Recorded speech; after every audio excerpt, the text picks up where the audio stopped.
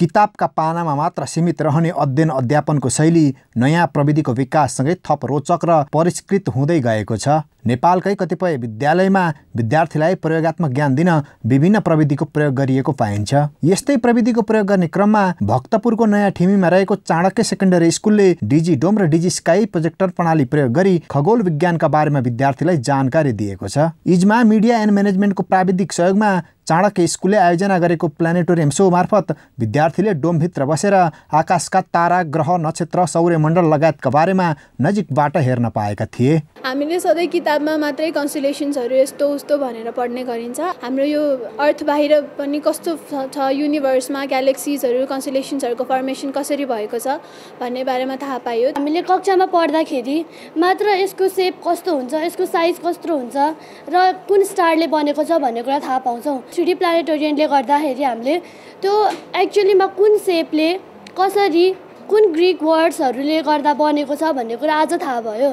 Through this program, I learned a lot about science and astronomy. God, all the planets are named after Greek god, including Uranus, which is named after Uranus, the Greek god, and Mercury, who is named after the Greek god of uh, theft, robbery, merchants, etc. I also came to know a lot about these space and its beings. I came to know especially about Mars, which moon which was specially focused during this course. खगोल विज्ञानका बारेमा कक्षा कोठामा शिक्षकले चित्र कोरेर बुझाउनु पर्ने बाध्यता छ भने विद्यार्थीले अनुमानको भरमा पढ्नु परेको अवस्थामा इजमाले अडियो भिजुअल मार्फत नजिकबाट जानकारी गराएको कार्यक्रम विद्यार्थीका लागि निकै उपयोगी भएको चाणक्य सेकेन्डरी स्कुलका सञ्चालक गणेश बाबु पोखरेल बताउनुहुन्छ विज्ञान प्रविधिसँगको सँगसँगै एस्ट्रोनोमीको बारेमा अध्ययन गर्ने एउटा शुभ सुवर्ण अवसर प्राप्त गरे बच्चाहरूले यो किताबी ज्ञानलाई प्र्याक्टिकल्ली हेर्न पाउँदाखेरिमा त्यसमा अझ उनीहरूले चाहिँ राम्रो किसिमको ज्ञान प्राप्त गरे। म आफैले पनि त्यसमा हेरेँ। म पनि केही साइन्सको अलिकति अलिकति साइन्ससँग सम्बन्धित मान्छे भएको हुनाले मलाई पनि त्यो प्रोग्राम राम्रो लाग्यो। बच्चाहरूलाई यस्तो प्रोग्रामहरू देखाउँदै लग्यो भने विज्ञान प्रविधि सँगसँगै एस्ट्रोनोमीको अहिलेको इन्भेन्सन र भोलि हुन सक्ने कुराहरूलाई चाहिँ यसले राम्रो गराउन सक्छ। खगोल विज्ञानका बारेमा विद्यार्थीको सिकाइलाई कसरी प्रभावकारी बनाउन सकिन्छ भनेर स्कुल परिसरमा आयोजना गरिएको कार्यक्रमबाट विद्यार्थीले नयाँ प्रविधिको माध्यमबाट किताबमा पढेको कुरा नजिकबाट जान्न पाएको चाणक्य कलेजका प्रिन्सिपल बासुकीराज रेग्मी बताउनुहुन्छ। विज्ञानका क्षेत्रमा हामीले पाठ्य पुस्तकमा पढेको नलेज र ज्ञान प्राप्त गरेको ज्ञान र प्र्याक्टिकल्ली व्यावहारिक रूपमा हेर्दाखेरि कस्तो देखिन्छ चन्द्रलोकमा मान्छे कसरी ओर्लिए भन्ने कुराको ज्ञान विद्यार्थीहरूले व्यावहारिक रूपमा प्राप्त गर्न पाएकोमा नानी बाबुहरू खुसी जस्तो मलाई लाग्छ। चाणक्य सेकेन्डरी स्कुल तथा कलेज किताबका पानाबाट मात्रै विद्यार्थीले समयानुकूल दैनिकी व्यवस्थित बनाउने शिक्षा हासिल गर्न सक्दैनन् भनेर संस्कारसहितको शिक्षा दिँदै अघि बढेको छ। हामी भक्तपुरमा एउटा छुट्टै किसिमको अथवा छुट्टै संस्कारयुक्त शिक्षाको अवधारणा सहित विद्यार्थीहरूलाई पूर्वीय दर्शन पूर्वीय संस्कृति संस्कार सहित अध्ययन गराउने लक्ष्यका साथ अगाडि बढिरहेका छौँ। हाम्रो विद्यालय यो चाणक्य माध्यमिक विद्यालय प्रि स्कुलदेखि मास्टरसम्मको अध्ययन हुने भक्तपुरमा थोरै कम संस्थामध्ये एउटा संस्था हो।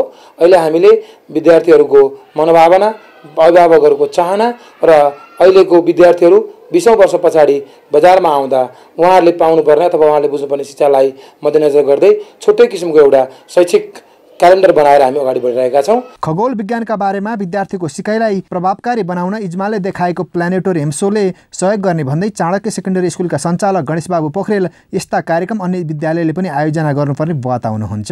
यस्ता कार्यक्रमहरू अन्य विद्यालयहरूमा प्रत्येक विद्यार्थीले देख्न पाए अथवा हेर्न पाए भने उनीहरूले पनि किताबमा पढेका ज्ञानहरूलाई प्र्याक्टिकली हेर्न पाउँदा सम्पूर्ण विद्यार्थीहरू यसबाट लाभान्वित हुने हुनाले यहाँहरूले नेपालभरिका सम्पूर्ण विद्यालयहरूमा सकेसम्म दूरदराजमा रहेका विद्यार्थी विद्यालयहरूलाई देखाउन सक्नुभयो भने उहाँहरू जहाँ साइन्सको बारेमा जति कम मान्छेहरूबाटमा पनि यसले चाहिँ राम्रो अवसर प्रदान प्रदान गर्नेछ।